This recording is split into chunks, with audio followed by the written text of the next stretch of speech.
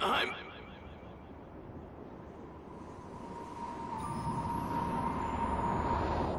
Sorry, Sasuke. Another time. You aren't hurt, Cat? You are weak. Hey, you brain-dead loser. We're friends! You think someone who can't even save a friend could become the Hokage? This is the last time. To him, your life was worth more than the entire village. We're going to crush the Hidden Leaf. I will always love you. Dobrodošli u novi video na kanalu Svaro Games. Danas nešto za ljubitelje anime serijala, a reč je o igri Naruto Shippuden Ultimate Ninja Storm 4.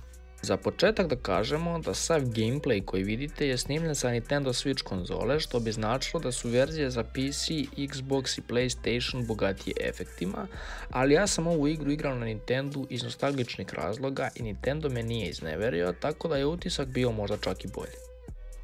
Ova igra je posljednja igra u serijalu Ultimate Ninja Storm, koja nam kompletira priču Naruto Shippudena. Pre nego što krenete da igrate ovu igru, morate znati da se nećete previše naigrati, više ćete gledati cinematike i imat ćete osjećaj da gledate anime koji ste već gledali.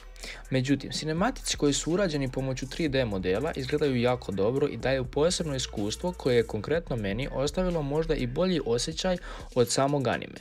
Sa obzirom na to da je ovo deo koji kompletira celu priču i završava je, mislim da je to urađeno na dobar način, nećete biti zakinuti ni za šta, možda ćete još više zavoleti ovaj serijal. Priča se manje više striktno drži one u animeu i nema previše odstupanja od nje s tim što su preskočeni manje bitni delovi i zadržani oni koji će vam konstantno držati pažnju. Igra će vam oduzeti oko 10 sati i podeljena je na nazovimo to epizodama. Ako ste odgledali anime, ova igra će vam dopustiti da ga proživite, a ako niste onda će vas ova igra naterati da ga pogledate.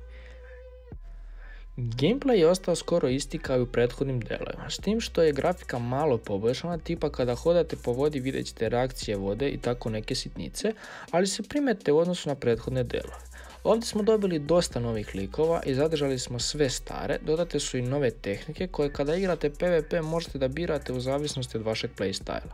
Kombat je ostao nepromenjen i za mene je Naruto jedna od najboljih 3D tabačina koje sam igrao i zbog art styla i zbog mehanika. Mehanike su jednostavne, za svakog karaktera su iste kombinacije tako da svako može da nauči da igra ovu igru, ali tu se javlja problem da čim je nešto jednostavno onda vaša mehanika vrlo lako dolazi na najviši nivo.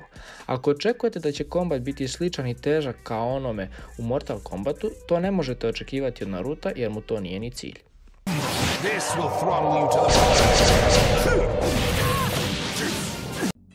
Is the village distracting you or the children?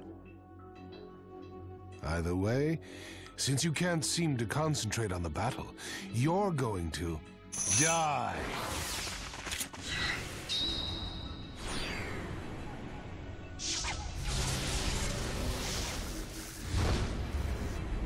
I won.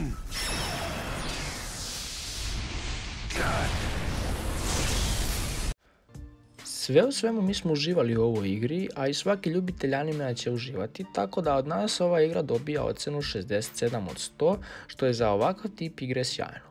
Toliko od nas za ovu mini recenziju, ako vas bude zanimala naša puna recenzija, moći ćete je pronaći na našem web sajtu koji će uskoro biti aktivan.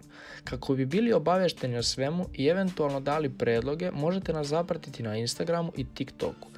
Svaro Games vas pozdravlja do sljedećeg puta. I am the ghost of the Uchiha. Madara Uchiha.